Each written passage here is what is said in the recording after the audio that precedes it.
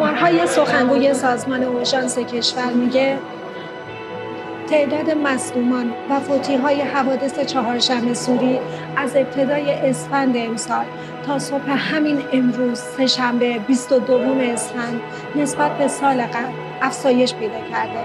آمارهایی نگران کننده بر اساس این آمارها شمار مصدومان حوادث چهارشنبه سوری 24 درصد بوده. شمار فوتی ها 25 درصد و قطع عضو آسیب به چشم و سوختگی حدود 40 درصد در مقایسه با پارسال زیادتر شدن بدتر از اون اینکه 67 درصد مصدومان 18 سال داشتن و میانگین سنی افرادی که با قطع عضو مواجه شدن حدود 20 سال بوده. و میانگین سن فوتی ها حدود 28 سال. اینجا بیمارستان سوانه سوختگی شهید متحریه و هنوز چهارشنبه سوزی رسما آغاز نشده.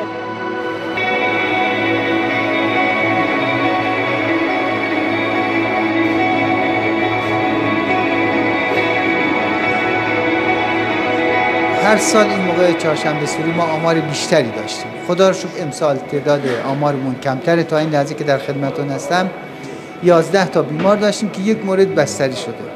و امیدواریم که افزایش پیدا نکنه. در حالی که سالهای گذشته تا این موقع حداقل 20 تا 25 تا بیمار داشتیم. به لحاظ کلی ما آماده باش هستیم. تقریبا از اول اسفند ما همیشه امکاناتمون آماده می‌کنیم آماده باش میدیم به همکارانمون. مرخصی های غیر ضروری رو لغو می‌کنیم. الان که من در خدمت شما هستم متخصص گوش و حلق متخصص چشم و جراح مغز اعصاب به ما اضافه شدن.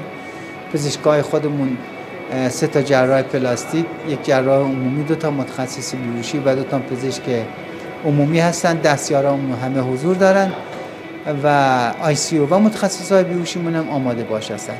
امیدواریم که هیچ اتفاق بدی نیفته که بخوام مداخله کنیم و انشالله آخر سال ایمنی رو برای همه همکاران عزیزمون آرزو می‌کنیم آقای دکتر علت در واقع مراجعه 11 نفری که فرمودید چی بوده؟ حالا کجا سوخته بوده؟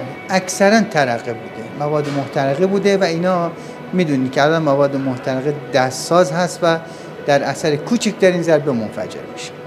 اینه که ما همین الان صدمه چشم داریم صدمه دست داریم صدمه صورت داریم که اینا عوارض ماندگاری خواهد بود.